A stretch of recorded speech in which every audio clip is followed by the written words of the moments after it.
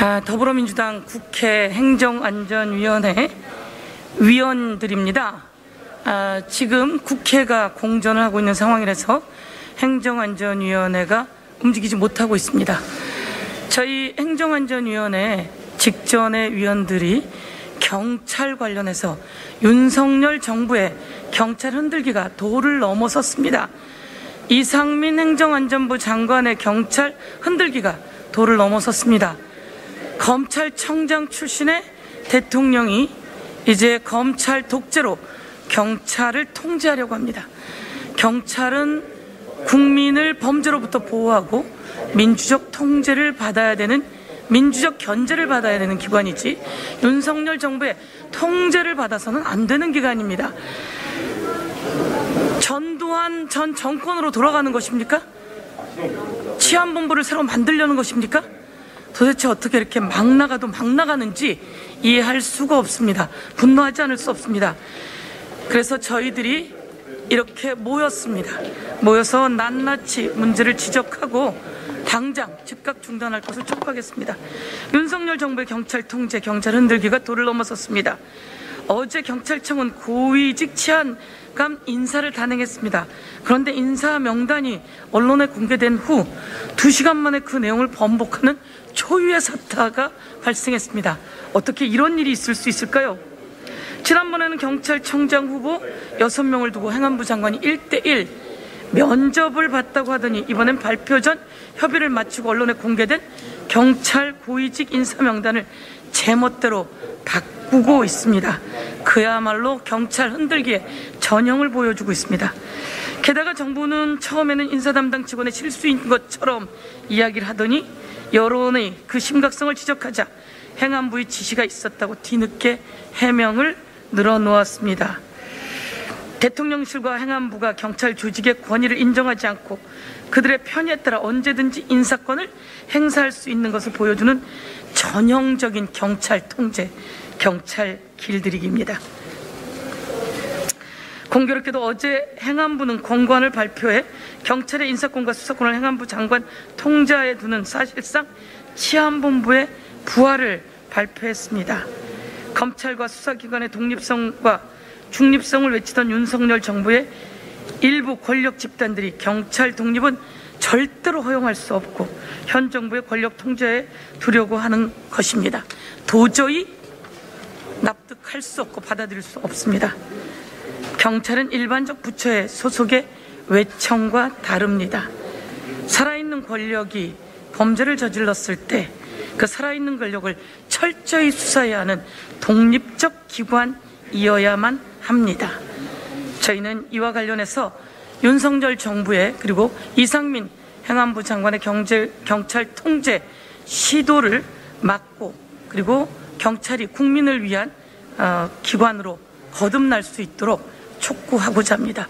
이와 관련해 이모선 의원과 백혜련 의원께서 또한 입장을 발표해 주시도록 하겠습니다.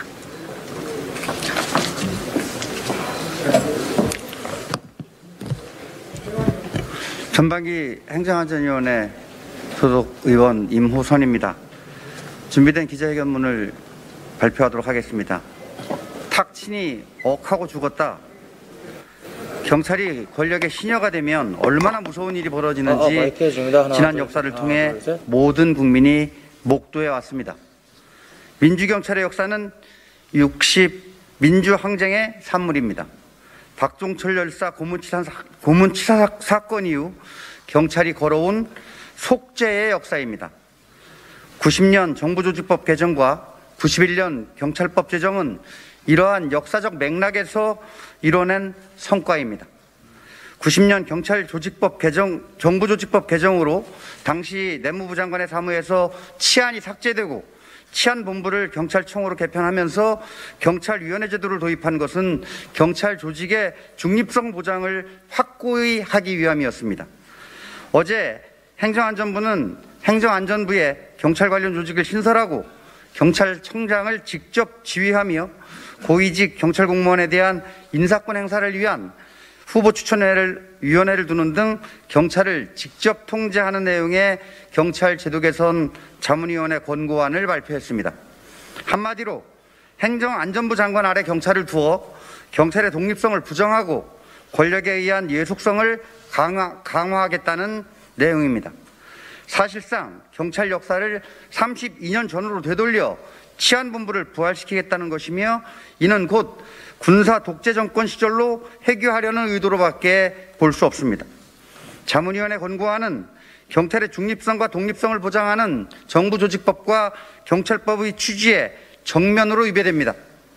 만약 시행령으로 권고한 내용을 추진하려 든다면 명백한 법률 위반에 해당하는 행위로 행정안전부 장관의 탄핵 사유에 해당합니다. 현행법을 위반하면서까지 윤석열 정부가 얻으려는 것은 무엇인지 묻지 않을 수 없습니다. 윤석열 대통령과 이상민 장관이 말한 법과 원칙이 공안 전국입니까? 치안본부 시절 사법경찰이 국민을 감시하고 국민들은 경찰이 두려워 피하려 했던 공안 전국을 부활시키려는 것입니까? 과거 군부 독재를 대신해 건부 독재라도 하려는 것입니까? 현 정부가 시도하는 경찰 제도 개선은 개선이 아니라 개혁입니다. 과거 이명박, 박근혜 정부에서조차 시도된, 시도된 적이 없는 일입니다.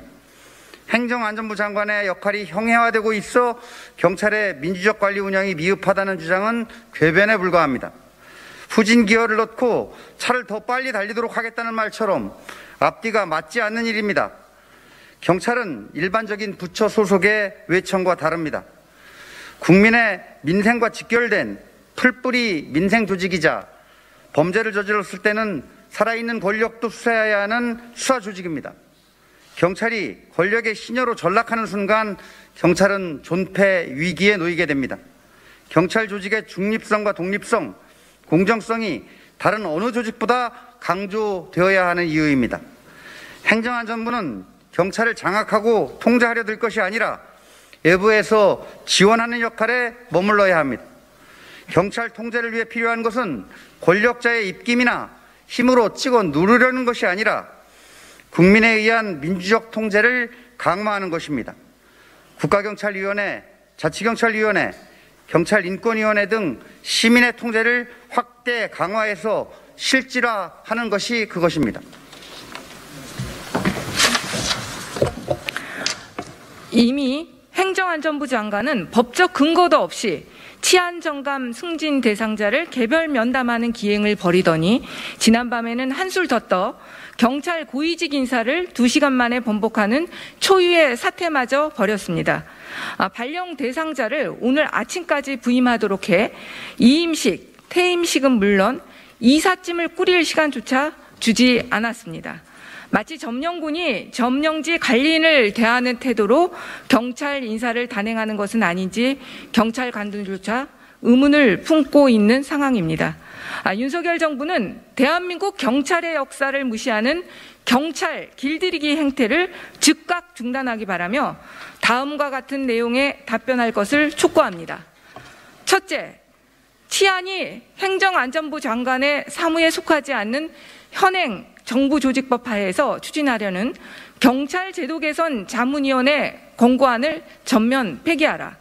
둘째, 경찰의 민주적 통제를 위한 경찰위원회, 자치경찰위원회, 경찰수사심의위원회, 경찰인권위원회 등 경찰의 독립성, 중립성, 공정성 제고를 위한 경찰의 성과를 존중하고 이를 무력화하려는 모든 시도를 즉각 중단하라. 셋째, 행정안전부 장관은 치안 점검 승진자를 대상으로 개별 면접을 보고 치안감 인사와 관련해 벌어진 인사 참사에 대해 사죄하고 재발 방지 대책을 마련하라. 아, 신속한 답변을 촉구드립니다.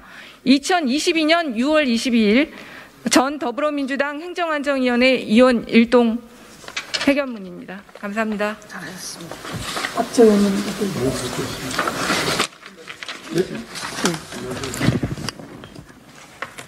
말 심각한 상황입니다.